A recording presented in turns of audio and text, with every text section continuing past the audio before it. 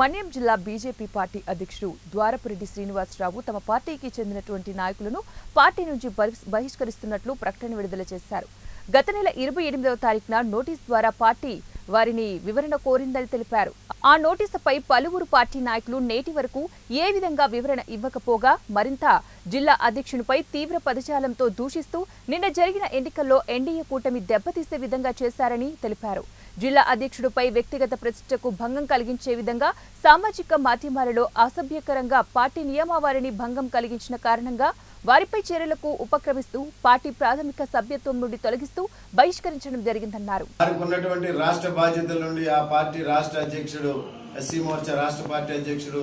గుడిసె దేవానందం గారు వారిని పదవుల నుండి తొలగిస్తూ సురగాల ఉమామహేశ్వర గారికి ఏ బాధ్యతలు లేవని చెప్పి మాకు తెలియచెప్తూ ఈవేళ మాకు ఒక ఏదైతే వారి కార్యాలయం నుండి ఒక ఉత్తర్వులు అందినవి